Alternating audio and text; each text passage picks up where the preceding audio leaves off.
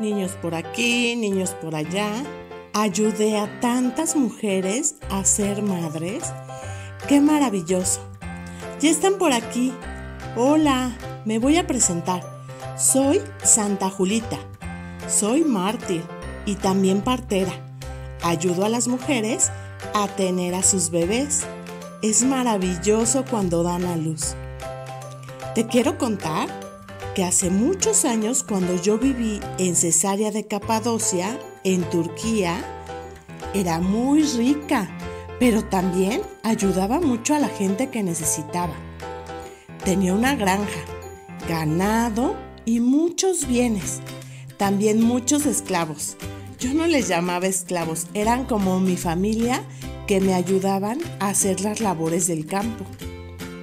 Pero ¿qué crees? Había gente mala por ahí y me robaron mis bienes. Y yo me puse a investigar y descubrí quién lo había hecho. Y lo llevé ante el juez. El juez me dijo, no puedo hacer nada.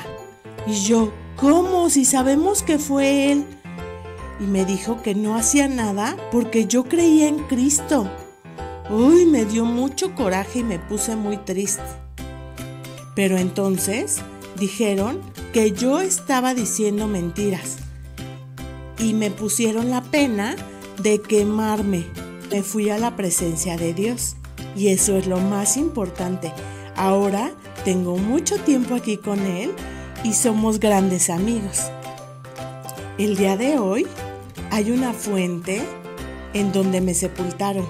Es de agua dulce y muy milagrosa y sana a muchos enfermos y eso me pone muy contenta. ¿Te gustó la historia, verdad? A ver, te voy a preguntar dos cosas. ¿En dónde vivía? Muy bien, en Cesárea de Capadocia, en Turquía.